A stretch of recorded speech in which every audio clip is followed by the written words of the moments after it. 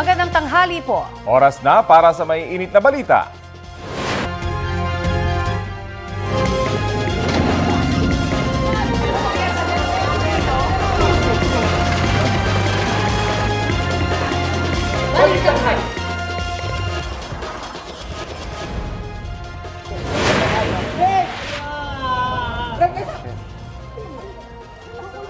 Yan po ang kinahinatnan ng isang binatilyo matapos masagi ng isang pickup sa Cagayan de Oro. Pasintabi po, natusok at tumagos sa katawan ng lalaki ang mga bakal mula po sa construction site kung saan siya natumba. Ang latest sa sitwasyon ng biktima. At ang dahilan ng kanyang pagkakabangga, ihahatid namin maya-maya lang.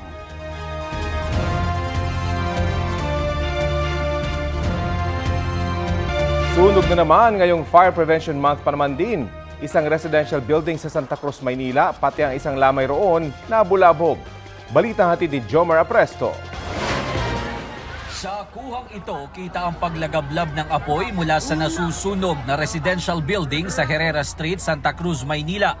Ang pinaglalamayan sa katabing bahay nagambala dahil sa sunog. Ang isa sa mga kaanak ng namatay, nagulat na lang daw dahil wala ng kabaong ng kanyang kapatid. Inilipat na pala ito ng mga residente. Tinabi na lang dito, tinakpan na lang ng trapal para yung lumipad na alikabok hindi naman mabagsakan. Wala pa raw ilang oras nung iburol nila ang kapatid nang biglang nagkasunog sa katabing building. Ayon naman sa may-ari ng gusali, sinubukan pa nilang apulahin ang apoy gamit ang fire extinguisher. Nakahiga ako, nak- narinig ko parang tut yung parang ganunan. Spark, spark. Spark, spark. So tumayo ako. Tumayo ako, ano ito? Pabilis ng pabilis. Pagbukas ko sa pintuan, yun, sumalubong sa akin yung usok. Tapos yung init. Agad daw silang lumikas at humingi na ng tulong sa barangay para tumawag ng bumbero. Ayon sa Bureau of Fire Protection, nagsimula ang sunog mag-aalas 11.30 kagabi sa ikatlong palapag ng gusali. Umabot sa ikalawang alarma ang sunog o ibig sabihin hanggang walong truck ng bumbero ang kinailangang rumesponde. Tuluyang naapula ang sunog dakong alas 12.05 ng hating gabi. Tatlong pamilya ang apektado ng sunog. Patuloy pang inaalam kung ano ang pinagmulan ng apoy. Palati po natin i-check ang ating mga appliances kung ito po ay nakasaksak pa. Bago po tayo ang malis, eh, siguro po natin nakabuno ito sa mga saksakan at kung gagamit naman po ng kandila, siguro po natin na nakalagay ito sa isang planggana na may tubig. Jomer Apresto nagbabalita para sa GMA Integrated News.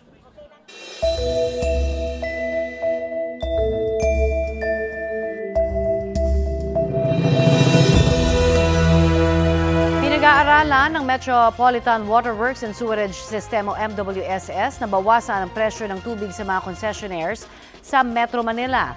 Ngayon kasi may El Nino, patuloy po na bumababa ang water level sa Angat Reservoir na pangunahing pinagkukunan ng tubig sa Metro Manila.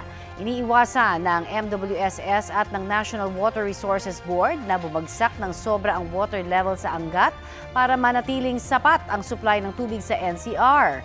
Ayon po sa pag-asa, bumaba sa 201.48 meters ang water level sa Angat Dam ngayong pong araw. Sabi naman ng MWSS, mababawasan na ang alokasyon ng tubig para sa irigasyon kapag bumaba pa ito sa minimum operating level na 180 meters. Sakaling magpatupad po ng rotational water service interruption sa NCR, dahil pa rin po yan sa pagbabawas ng water pressure, inatasa ng MWSS ang mga concessionaire na schedule. Ito tuwing 8 p.m. o 10 p.m. hanggang 4 a.m.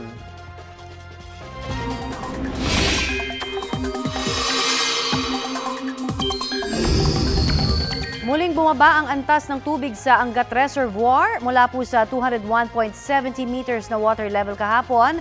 Nabawasan po ito ngayon at naging 201.48 meters na nga lang ayon po sa pag-asa.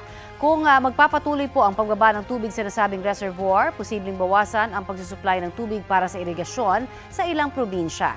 At maaari rin pong tapyasan ang ibinigay na tubig para sa konsumo ng mga taga Metro Manila. Bumaba rin ang water level sa Lamesa, Ambuklao, San Roque at Pantabangan Reservoirs. Tumaas naman ang tubig sa Binga, Magat at Kaliraya habang walang ipinagbago ang water level sa Ipo Reservoir. Ngayon pong lunes, magpapatuloy ang matinding init at alinsangan dahil sa umiiral na easterly sa buong bansa ayon sa pag-asa. Posible pong umakyat sa 43 degrees Celsius ang heat index sa Virac, Catanduanes. 40 degrees Celsius sa Dagupan, Pangasinan, San Jose Occidental, Mindoro, Puerto Princesa, Palawan at sa Rojas, Capiz. Dito po sa Metro Manila, posibleng umabot sa 37 degrees Celsius ang heat index sa Pasay. Nitong Sabado, naitala po ang napakainit na 47 degrees Celsius na heat index sa Vira, Catanduanes. Delikado na po yan at baka ma-heat stroke ang sinumang magbabad sa ganyang kainit na panahon.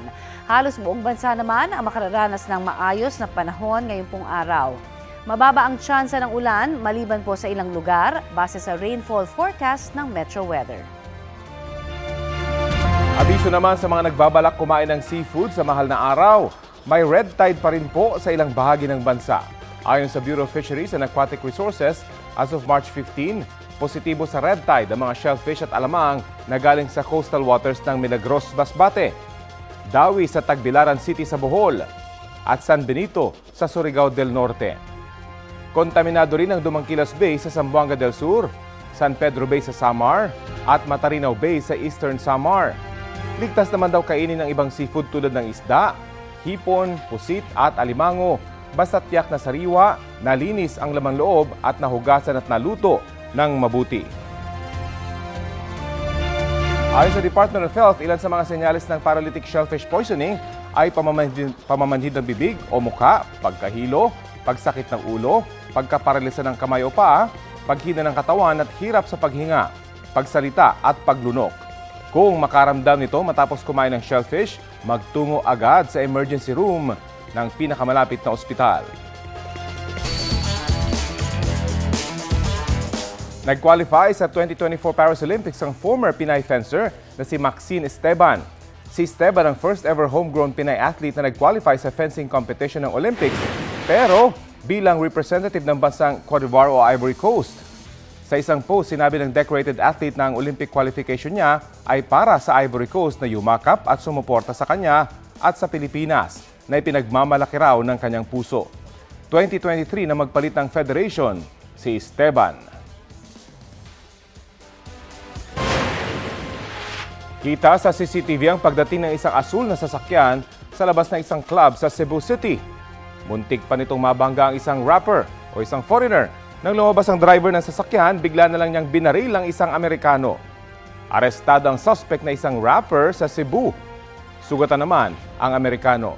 Ayon sa PNP, may naganap na rumble umano sa loob ng club na naging sanhi ng barilan sa labas. Depensa ng suspect, binaril niya ang biktima dahil sa pambubastos umano sa kanyang mga kaibigang babae. Mahaharap ang suspect sa reklamong frustrated murder. Patay ang apat na sundalo matapos tambangan ng mga umanay rebelde sa Dato Hopper Ampatuan, Maguindanao del Sur. Ayon sa otoridad, mga miyembro umano ng Daula Islamia Group ang umatake sa mga sundalo ng 40th Infantry Battalion na papauwi na sana matapos bumili ng office supplies. Sakay ng pribadong sasakyan ng mga biktima. Posible umanong paghihiganti ito kasunod ng operasyon ng militar laban sa mga rebelde sa katabing bayan kamakailan. Tinutugis na ang mga nasa likod ng pananambang. Ang Philippine Army nangakong magpapabot ng tulong sa naiwang pamilya ng mga namatay na sundalo. Kinundin na ni Pangulong Bongbong Marcos ang ambush. Pinaiigting din daw nito ang biti ng gobyerno na buwagin ang terorismo sa bansa. Bawal na sa batas ang no permit, no exam na polisiya sa ilang paaralan. Ang proseso po at iba pang detalye alamin sa balitang hatid ni Jonathan Andal. Dati, problema ng ilang estudyante ang no permit, no exam policy ng ilang paaralan. Ibig sabihin, kung may utang pa sa matrikula at iba pang bayarin, hindi sila makakapag-exam. Pero bawal na yan alinsunod sa Republic Act 11984 o No Permit No Exam Prohibition Act na pinirmahan ni Pangulong Bongbong Marcos. Sa ilalim nito, lahat ng tinatawag na disadvantaged students sa pampubliko at pribadong K-12 institutions, kolehiyo, universidad at technical vocation institution na may mga kursong higit sa isang taon, pwedeng makakuha ng periodic at final examinations nang di kailangan ng permit mula sa paaralan. Ang mga apektadong mag-aaral paararal bibigyan ng certificate ng ahensya bilang patunay sa dahilan na kaaapekto sa kakayahang magbayad ng matrikula tulad ng kalamidad, emergency, force majeure o iba pang good o justifiable reason sa ilalim ng gagawing rules and regulations ng DSWD. DSWD rin ang inatasang tumukoy sa mga mag-aaral na may tuturing na disadvantage. Pinapayagan naman ang mga paaralan na manghingi ng promissory note mula sa estudyante maaari rin nilang i-hold ang mga dokumento o record ng mag-aaral at gumawa ng mga legal at administratibong hakbang para sa paniningil ng bayarin.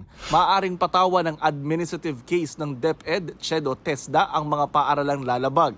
Ang pag-a-apply naman para sa passport layo na ring padaliin sa ilalim ng New Philippine Passport Act o Republic Act 11983. Papalitan nito ang RA 8239 o ang Passport Act of 1996. Sa bagong batas, inaatasan ng Department of Foreign Affairs na bumuo at mag-maintain ng online application portal at electronic one-stop shop na maaaring ma-access sa kanilang official website.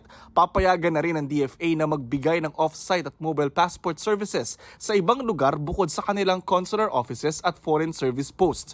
Mas naghigpit din sa parusa ang batas sa mga iligal na kukumpiska o hahawak ng passport ng iba pwedeng makulong ng hanggang labing dalawang taon o pagmultahin ng isa hanggang dalawang milyong piso. Ang parusa sa mga mamimeke o sa mali ang paggamit ng pasaporte, anim hanggang labing limang taon ang kulong at mula sandaan hanggang dalawang daan at limampung libong piso ang multa. Jonathan Nandal, nagbabalita para sa GMA Integrated News. Abiso po sa mga suki ng MRT at LRT2, wala pong biyahe ang dalawang linya sa Webes Santo hanggang linggo ng pagkabuhay o Easter Sunday. Sa Miyerkules Santo, regular pa po ang schedule ng MRT3. 9.30pm ang last trip mula sa North Avenue Station, habang 10.09pm naman mula sa Taft Avenue. Mas pinaaga naman ang last trip sa LRT2. Parehong 7pm sa Miyerkules Santo ang huling biyahe mula po sa Antipolo at Recto Station. Apat na araw walang biyahe ang MRT3 at LRT2 para po sa taunang maintenance activities. Sa April 1, lunes na ang balik normal na operasyon. Wala pang anunsyo ang LRT1.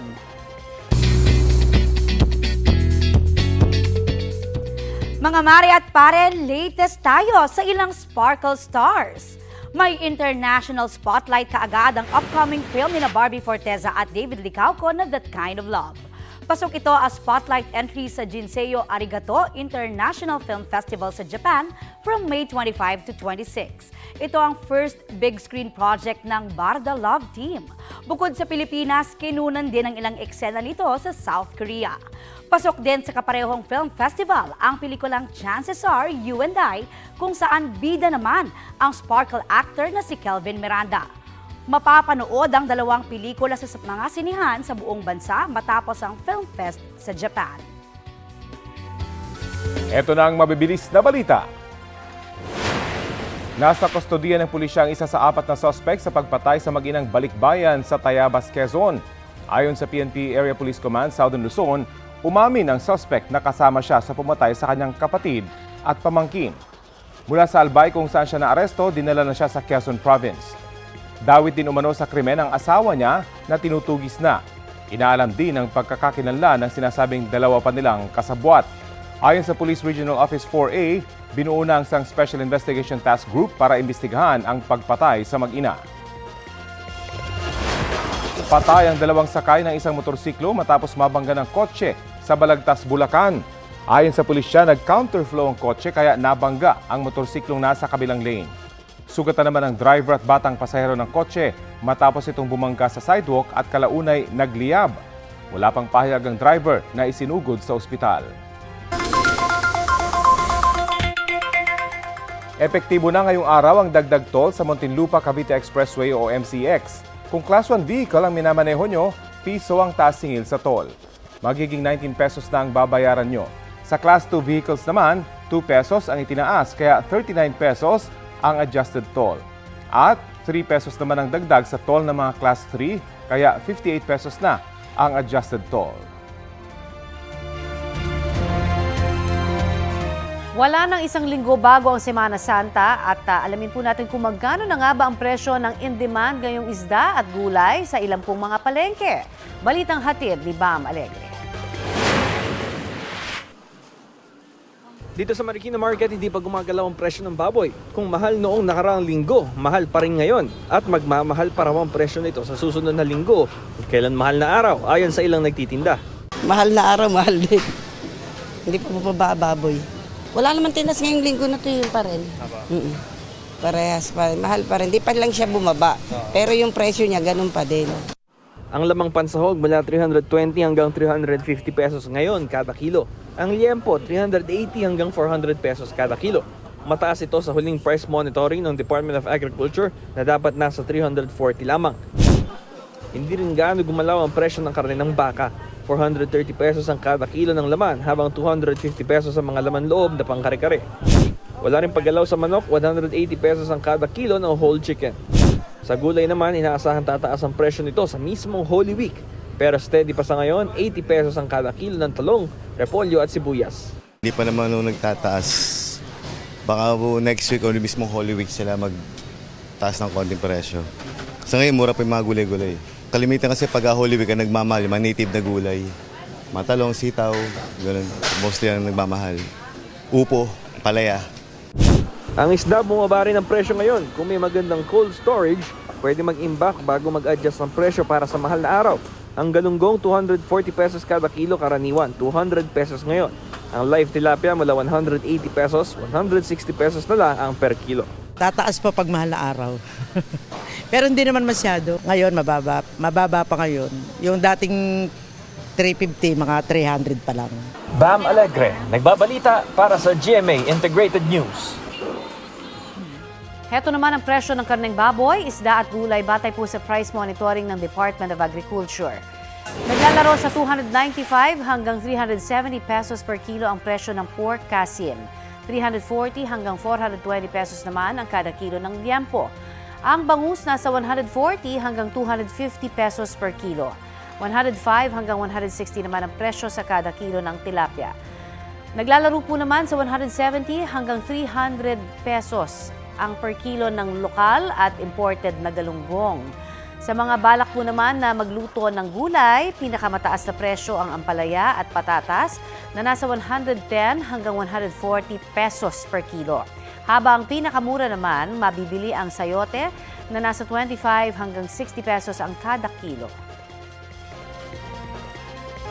Itinuturing na hero dog ng isang pamilya sa Panabo City sa Davao del Norte ang kanilang 7-year-old Belgian Malinois. Natagpuan ng pamilya na wala ng buhay ang kanilang alagang si Yugo malapit sa hiwa-hiwalay na katawan ng isang ahas. Kwento ng firm ni Yugo, umalis sila ng pamilya ng bahay sa bahay para samahan ng anak na mag-training sa Tagum City. Pag uwi nila sa bahay, nagtaka ang anak niya kung bakit hindi na gumagalaw si Yugo. Nang buksan ng ilaw, doon na nakita ang sinapit ng kanilang alaga. Hindi raw ito ang unang beses na may napatay na ahas si Yugo. Patay ang isang babaeng angkas ng motorsiklo matapos mamakabanggaan ng isang bus sa Taytay Rizal. Balitang hatid ni James Agustin. Eh, maliit pa yung anak ko. Nag-aaral pa yun. Kaya, kung paano na yung kinabukasan ng anak ko. Kasi wala na yung misis ko na nag-guide sa pag-aaral nila. Hindi lubos sa kalain ni Feliciano na sa aksidente magtatapos ang buhay ng kanyang 47 anyos na misis na si Josabel Simbahon. Sakay ng motorsiklo ang dalawa na makabanggaan ng pampasaherong bus sa Ortigas Avenue Extension Taytay Rizal, bandang alas 4 ng umaga. Nagtamo naman ng sugat sa siko si Feliciano. Kwento niya katatapos lang nilang mamalengke at papasok na sa kanilang subdivision na mangyari ang aksidente. Tapos pakaliwa na kami dito, siyempre wala namang sakyan. Kung maliwa kami, dito umuvertake sa kaliwang side yung bus. Kaya tumama kami sa katawan ng bus. Kaya yung misis ko, nalaglag. Ako, nakahawak ko doon sa motor. Kaya umikot yung motor namin. Nasa kusudian na ng Taytay Municipal Police Station ang 54 anyos sa bus driver. Galing daw siyang garahe sa Binangonan at patungo sa terminal sa Antipolo. Aminado ang bus driver na nag-counterflow siya. Malayo po, nakabusina na ako eh. Kasi maluwag yung kalsada. Talagang dumiretso, bumangga doon sa likod namin. Yun lang Bakit niyo po. sir naisipan na mag-overtake? Kasi ang, ang bagal na niya pa, paano no, pa, papunta rito. Bagal din kami dahil umaga eh. Maharap ang driver sa reklamong reckless imprudence resulting in homicide. Pasensya na lang. Kasi, kasi aksidente ba kaya, hindi naman natin nasahan yan eh. Nagdulot ng mabigat na trapiko sa Ortigas Avenue Extension ang aksidente. James Agustin nagbabalita para sa GMA Integrated News.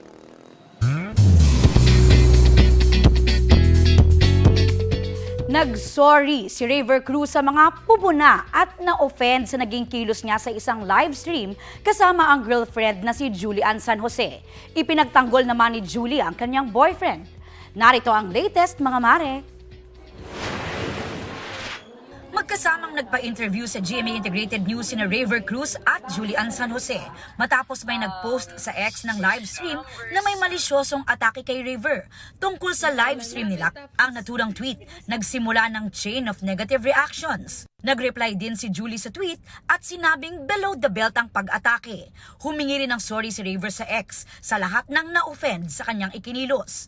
Playful and happy lang daw talaga siya. Hindi rin daw niya magagawang saktan si Julie. Sabi ni Raver, hyperactive siya bago sumalang sa live stream pagkatapos ng rehearsals ng production number nila para sa All Out Sundays. Lahat naman na nakakilala sa akin, ganun talaga ako. Pero aaminin ko, and gusto ko na rin humingi ng pasensya sa mga medyo nainis kasi extra hyper talaga ako that day. Sabi naman ni Julie, mababa ang energy niya noon dahil bilang leader ng kanilang team, stress daw siya. Kaya raw naging extra kulit si Raver ay para ma-lift ang mood at mapataas ang energy ni Julie. Ang dami ko iniisip tapos ay ano pa, like hindi pa maganda yung pakiramdam ko tapos na-stress talaga ako. Pero si, kung ano si Rhea, siya po talaga yon Para malinaw lang din sa lahat na wala pong ganong klaseng wala pong ganun. Hindi naman natin maiwasan na talaga may mga tao na mabibilis talaga mag-judge. Diba? Sa kabila nito, masaya sila sa successful Summerversary Showdown sa All Out Sundays kung saan nanalo ang Team Sand ni na Miguel Tan Felix at Isabel Ortega. Abangan pa raw ang mga pasabog performances nila sa susunod na mga linggo.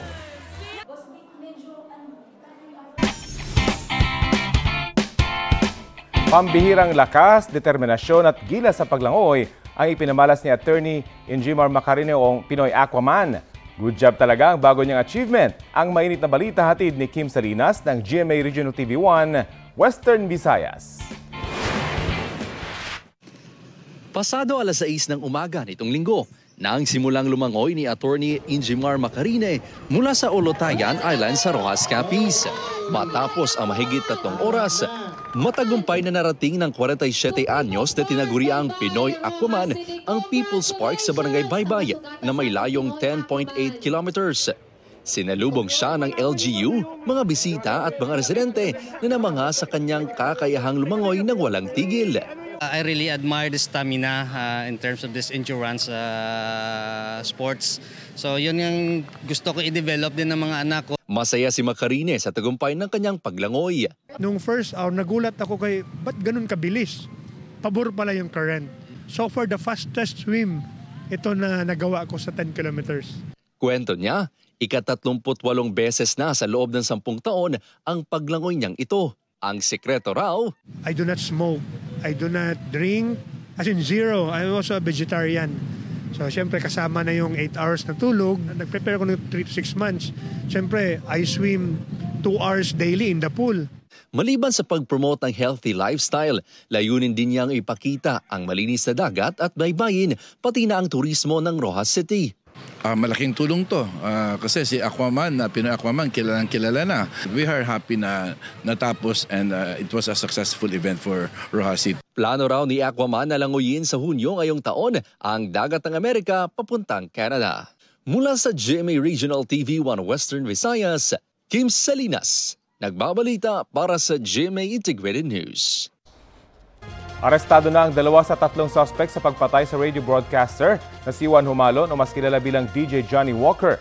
Ayon sa Presidential Task Force on Media Security, naaresto ang dalawang suspect sa bayan ng Sapang Dalaga sa Misamis Occidental nitong biyernes. Isa sa kanila ang sinasabing nanutok ng baril sa tauhan ni Humalon, habang ang isa pa ay natukoy bilang driver ng motorsiklong ginamit nila para tumakas. Walang pahayag ang mga naaresto. Patuloy namang tinutugis ang gunman. November 5, 2023 nang makuha na ng pamamaril kay Humalon sa mismong live stream ng kanyang programa. Para hindi na ho tawaging worst airport in the world, magsasanib puwersa na ang gobyerno at pribadong sektor sa pagsasaayos ng Ninoy Aquino International Airport o NAIA.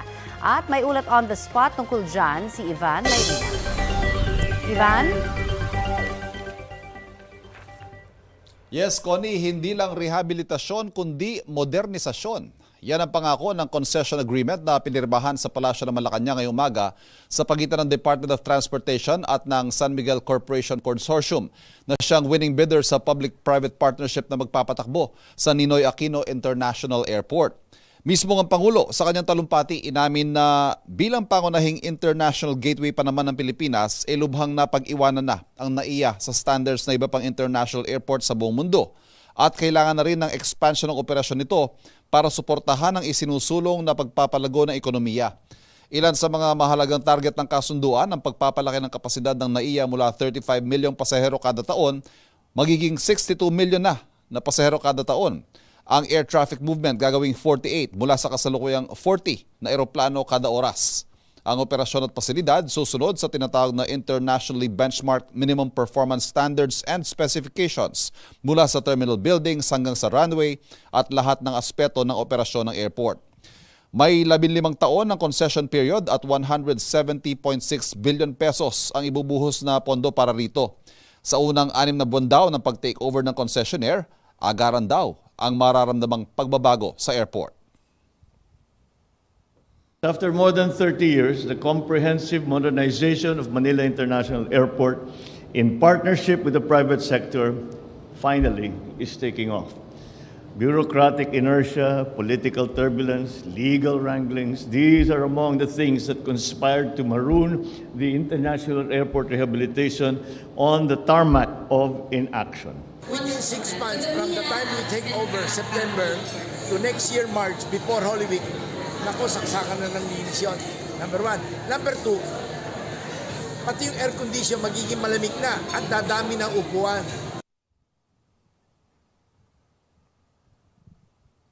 At yan ko ang latest mula dito sa Malacanang. Balik sa'yo.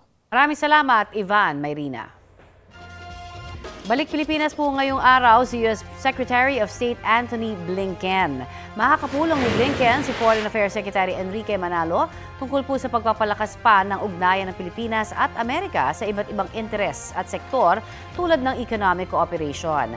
Makakausap din ni Blinken si Pangulong Bongbong Marcos tungkol sa national security sa gitna ng tensyon sa pagitan ng Pilipinas at China sa West Philippine Sea. Kabilang po ang Amerika sa mga nagpapahayag ng suporta sa Pilipinas tuwing may insidente ng panghaharas sa West Philippine Sea. August 2022 nang huling bumisita si Blinken sa Pilipinas. Samantala, tinawag naman ng Department of Foreign Affairs na walang basihan at mapanlin lang o misleading ang pag-iit ng China sa anilay historic rights nito sa South China Sea. Sabi ni DFA spokesperson Teresita Daza, panahon pa lamang na mga Kastila, Pilipinas na ang may sovereignty at control sa Baho de Masinloc, gayon din sa Kalayaan Group of Islands malapit sa Palawan. Pinawalang bisa na rin sa 2016 arbitral ruling ang pag-aangkin ng China sa halos buong South China Sea. Alinsunod po yan sa United Nations Convention on the Law of the Sea o UNCLOS. Wala pang sagot ang China Ngunit matagal na nilang sinasabing hindi nila kinikilala ang arbitral ruling. Integridad, pagkakawanggawa at pagiging makadyos ang ilan sa mga binigyang diin ni GMA Network Chairman Felipe Algozon sa 125th founding anniversary ng Central United Methodist Church sa Maynila. Balitang hatid ni Jonathan Andal.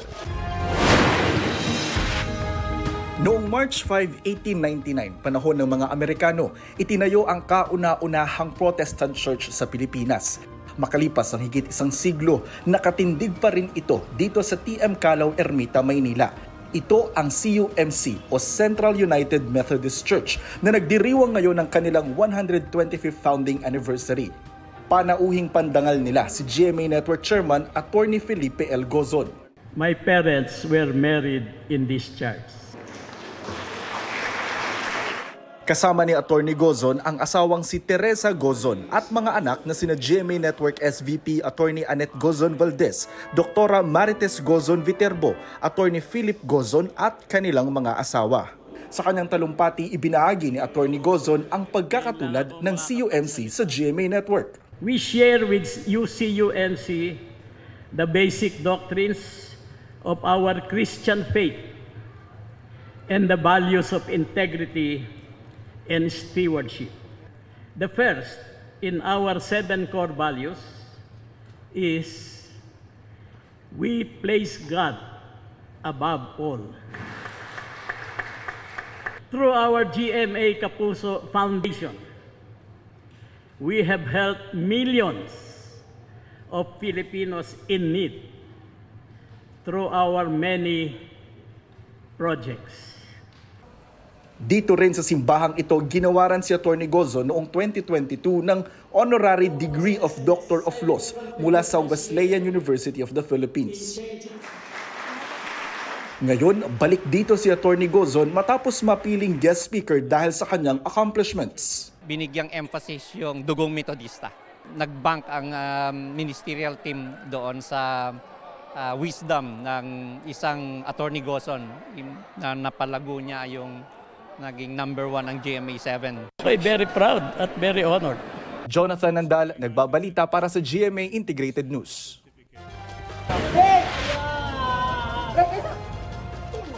Nagkagulo ang mga residente sa Barangay Bugo sa Cagayan de Oro nang makita ang sinapit na isang binatilyo roon. Pasintabi lang po.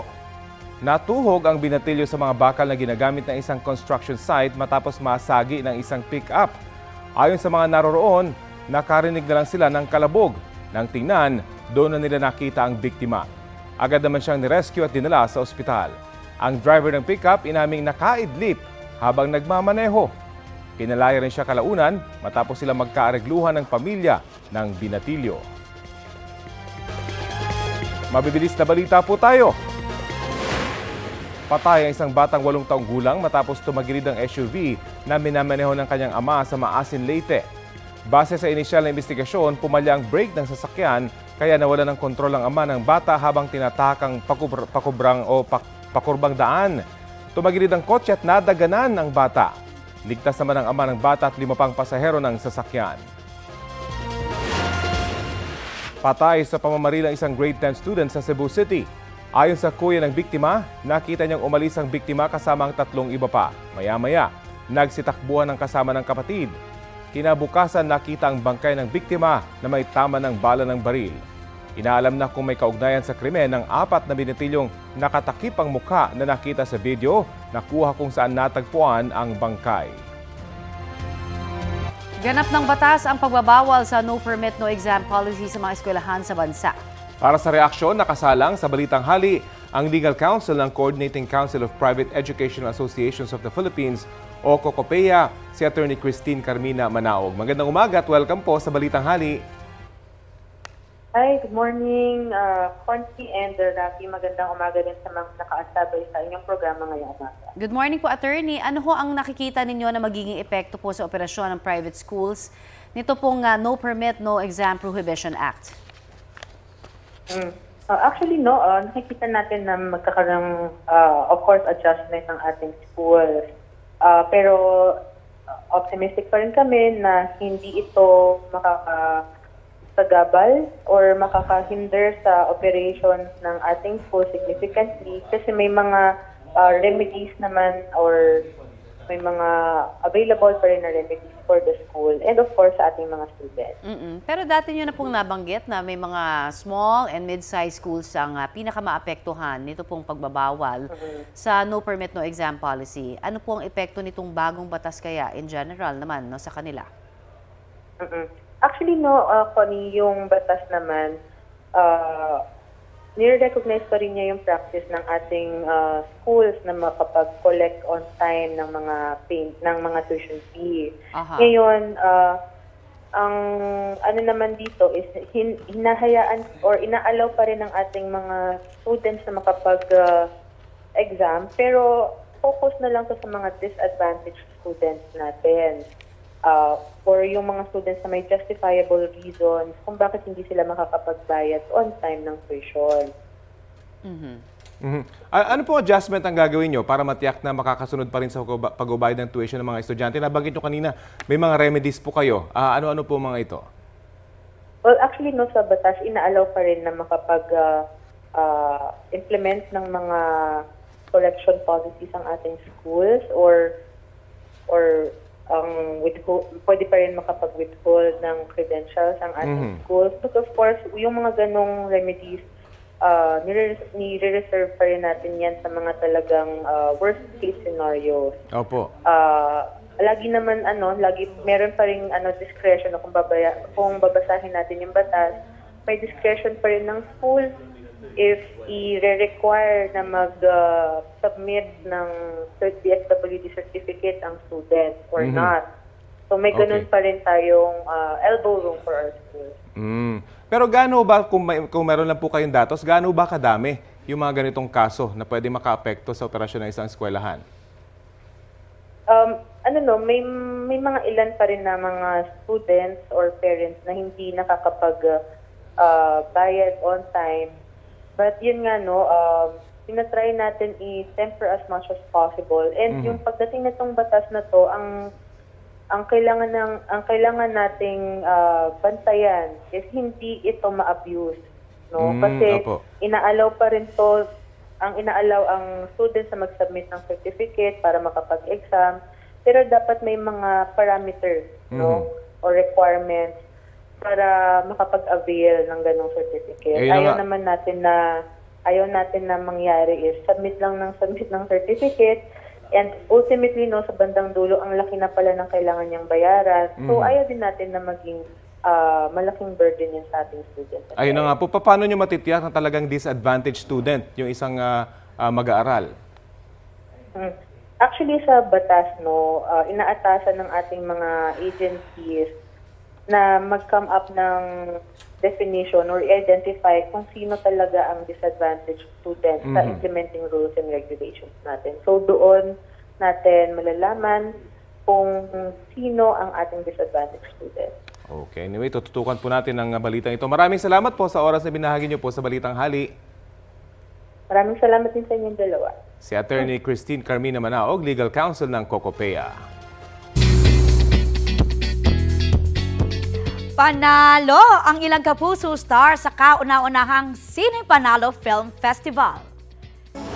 Itinanghal na Best Actor ang Sparkle star na si Jeff Moses para sa pelikulang Under API Moon. Chika ni Jeff, thankful siya sa award na sumisimbolo sa kanyang kagustuhan na mas paghusayin pa ang kanyang pag-arte. Katayin niya sa award si Carlos Egon Reyna ng pelikulang Pushcart Tales. Nakuha naman ni Charmaine Buencamino ang Best Actress para para rin sa Pushcart Tales. Host ng awards night ng Sparkle artist na si Ara San Agustin.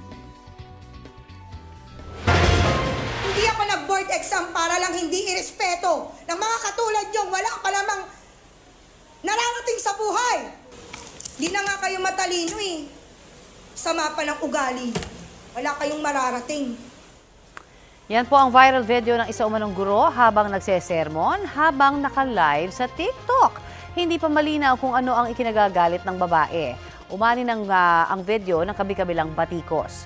Ayon sa Department of Education, kailangan muna nila ang kumpletong incident report para malaman ang karampat ng aksyon. Sa ilalim ng DepEd Child Protection Policy at sa Republic Act 7610, maituturing na child abuse ang pagbitaw ng masasakit na salita sa mga bata. Ayon sa grupong Teachers Dignity uh, Coalition, hindi nila kinukonsinti ang ginawa ng babae kung guro nga siya. Hindi rin daw dapat siya husgahan agad dahil hindi pa naman alam ang buong detalye sa viral video. Pumano po si dating Bureau of Corrections Deputy Security Officer Ricardo Zulueta. Siya ay 42 taong gulang. Ayon sa PNP, heart failure ang ikinamatay ni Zulueta nitong biyernes ng gabi. Si Zulueta ay isa sa mga pangunahing akusado sa pagpatay sa broadcaster na si Percy Lapid at sa umano'y middleman sa pagpatay kay Lapid na si Cristito Villamor Palanya noong October 2022. Pinuntahan ng GMA Integrated News ang burol ni Zulueta sa bayan ng Hermosa sa Bataan pero ipinagbawal ng kanyang pamilya ang pagkuha ng larawan ng video. Ayon kay DOJ spokesman Nico Clavano, nakuha na ng NBI ang mga larawan at fingerprints ni Zulueta. Una nang nanawagan ng kapatid ni Lapid na si Roy Mabasa na magkaroon ng independent autopsy para malaman ang tunay na sanhi ng pagkamatay ni Zulueta.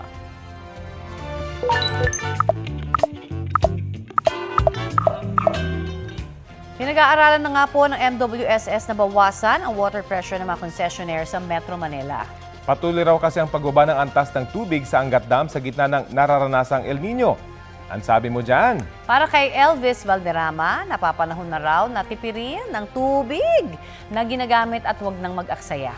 Para naman kay Nosting Mark, gamitin daw natin bilang alternative water resources sa mga anyong tubig na nakapaligid sa Pilipinas. Ayan. At pabor naman si Mark Antonio sa pagbabawas din ng uh, water pressure, ngunit sa tamang oras naman daw sana. Ayun nga. Mga kapuso, makisali sa aming online talakayan sa iba't ibang issue.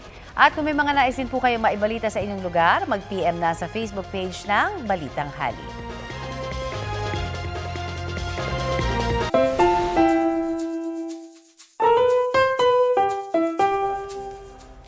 Eto naman, relate for sure ang mga pet owners kapag sinabing parang bata rin talaga kung umasta ang ating mga fur babies, di ba? Correct, Mare. Daig pa nga minsan ng mga bata pagdating sa kakulitan. Numero uno example na raw dyan ang isang alagang aso sa Marilao, Bulacan. Kung bakit?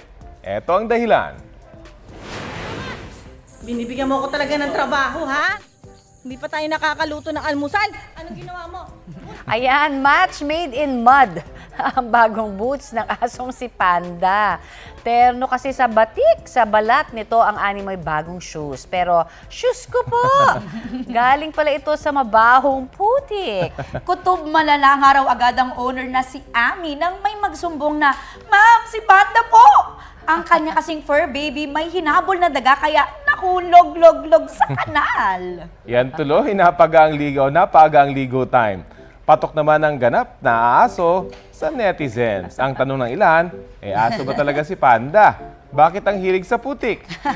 ang video na yan may mahigit 2.9 million views na sa TikTok. Next naman. Trending! Ayan, di ba? Talagang cute na cute ang mga babies na fur babies natin pag ganyan. Pero parang... Malikot. ah, oo, pero pag may putik-putik na, di ba? Nakaka-stress. Oo nga, kahit na cute minsan eh, di ba? Ikaw maglilinis, dudumihan pa niya yung paligid, Ayun. pero ganyan talaga eh, ganyan talaga pag nag-aalaga kayo. At diba? saka dapat Kasama ay... yan sa teritoryo, ika nga. Correct. Dapat talaga ano, ah, tipid-tipid din siya sa tubig. Ah. Bawal na sa putikan. Oo, at ang lusog ni Panda. Ay, oo. Niyo. nga, medyo Kaya nga parang Paiba ano, na, oo. Paiba na. Ang May- lahi niya. Aso ka pa ba, Panda? Good, good job, Panda. May katabaan siya. Pero ang cute niya, no? Ang cute ng Oo. mukha para siya nagmamakaawa.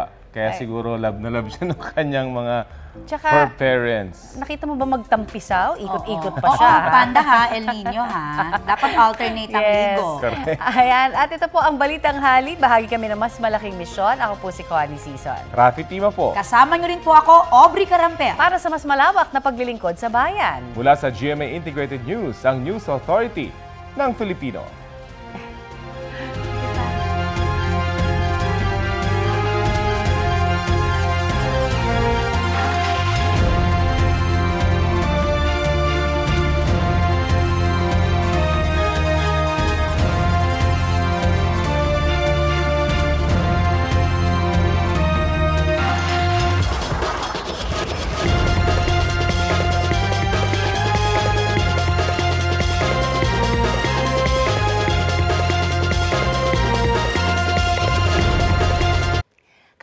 Para sa mga maiinit na balita, mag-subscribe sa GMA Integrated News sa YouTube.